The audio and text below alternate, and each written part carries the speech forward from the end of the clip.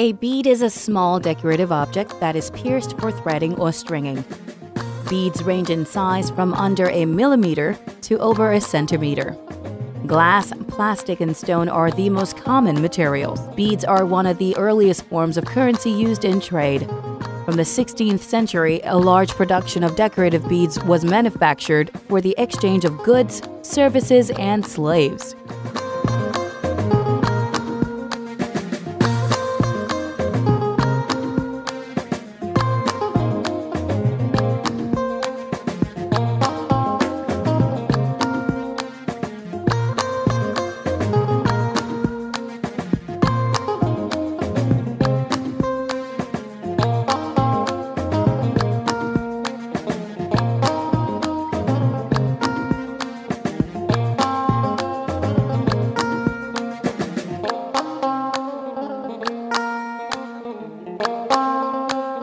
Nupe people are Nupoid speaking people living near the confluence of the Niger and Kaduna rivers in west central Nigeria. The Nupe people live in the heart of Nigeria, spread over the low basin formed by the two rivers, Niger and Kaduna, where Nupe people popularly refer to Niger as Edu. Glass beads in the northern regions are used as an economic tool, denoting wealth and political power. Mensanga area of Bida plays host to some great people who recycle bottles and glasses into beads. Production of beads from glass scraps and undesired glass beads has a lively presence in Bida town. Imported glass is either formed by melting, potentially adding desired colorants and then shaping the melt into beads. Before you make the fire, you, are, you, are, you, have, you have to pray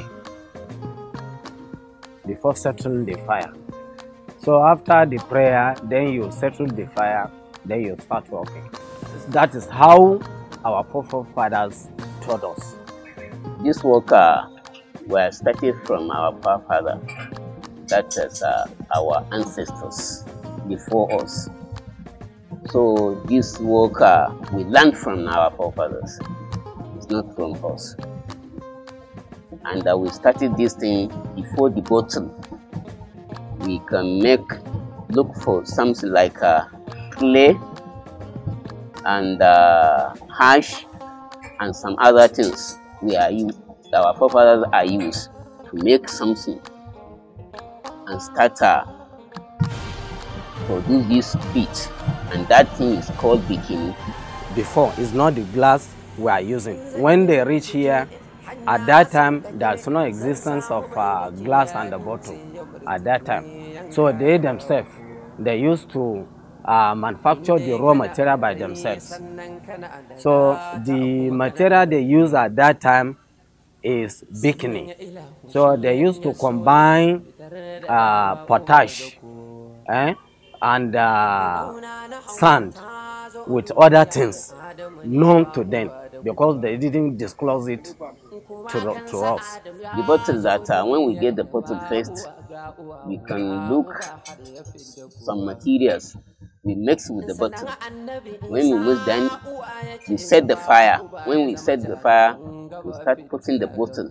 After the bottle has break, we put inside the fire. When the bottle become red, melt and red. So from there we start producing the beads. You can go home and combine sand and potash and you want it to become that bikini. It involves some spiritual work again. Then you combine it together. Then you continue boiling it. You see how it will melt, melt like melted uh, sugar. So you leave it there for, for, for at least three days or seven days. Then it will solidify again. It also add color to our festivities.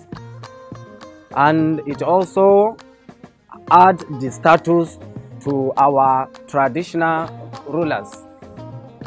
And again, we, we the, the most important of it is that we, we, we, we earn money to sponsor our children to school and do any other things. Due to various differences in cultural histories and environmental resources, the people of Bida developed glass traditions distinct from Egypt. the relation of this, the culture of this tradition is that we are originated from from the Egypt. I think you are here, the country called Egypt, but our ancestors originated from there to this, this place. So from there, this work started from there. Then from there, they, they, they, they our forefathers leave the place and come here.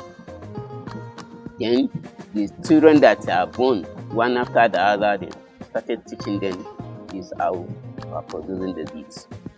So then from there we mixed with the some members of the of the Bida area for their culture.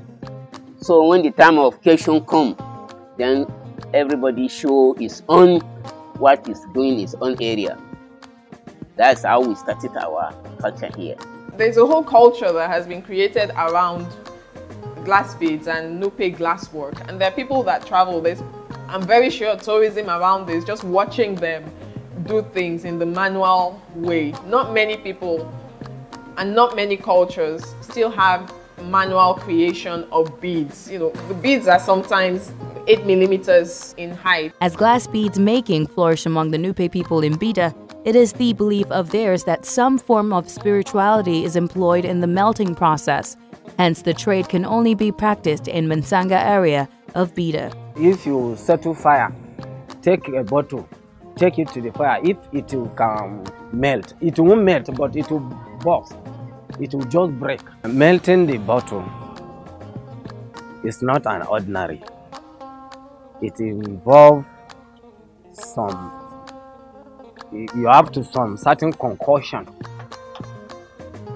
some spiritual work, then before you do it.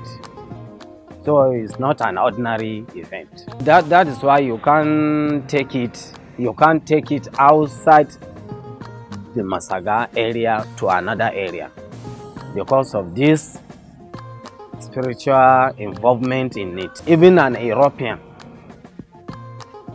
came and settled down here for certain for some years. Learn how to do this work and is able to learn it and be perfect in it. But when he goes back to his country he went there to go and settle it. It, it, it wasn't work. It doesn't work. Due to this involvement of uh, spiritual work if you want to learn, unless you stay with us for some years. Otherwise, it will be difficult. And you can't take this thing to another town or another country to do it, to produce it. You'll not be able to do it unless with this area in Masaga. The Nupe glass beads can further be processed into decorative materials for fashion purposes.